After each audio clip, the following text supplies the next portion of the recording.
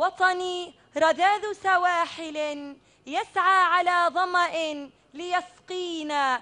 الثقافة والأدب والفنون تعكس حضارة وتطور الشعوب وتمثل نافذة على الاطلاع والمعرفة التي تسهم في تطور ونهوض المجتمع من خلال تبادل الثقافات مع المجتمعات الأخرى.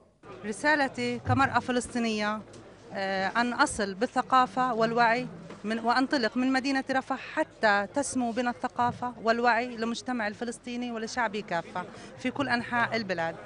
في محافظة رفح انطلقت فعاليات الموسم الثقافي الأول للأدب والفنون نظمه منتدى رفح للثقافة والأدب والفنون وجمعية المتحدين الثقافية بالتعاون مع نادي خدمات رفح شارك فيه العديد من الأدباء والكتاب والفنانين. قدموا فقرات غنائية وشعرية عبرت عن الحالة الفلسطينية في صراعها مع الاحتلال. نحرص كل الحرص على الوصول للمبدع في المراحل الأولى لكي نستطيع من خلال جهودنا في لقاءاتنا الأسبوعية التي ننظمها في قاعة مؤتمرات بلدية انصارات من بعد عصر السبت من كل أسبوع لتوفير مناخ وبيئة إبداعية ملائمة.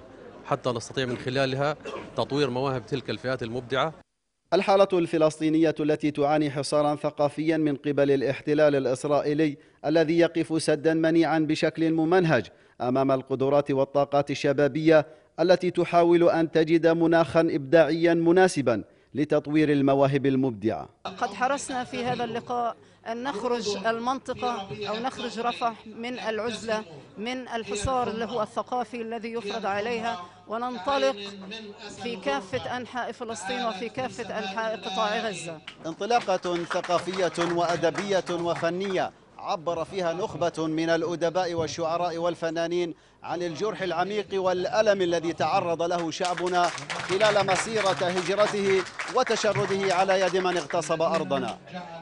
من رفح محمد أبو حطب تلفزيون فلسطين.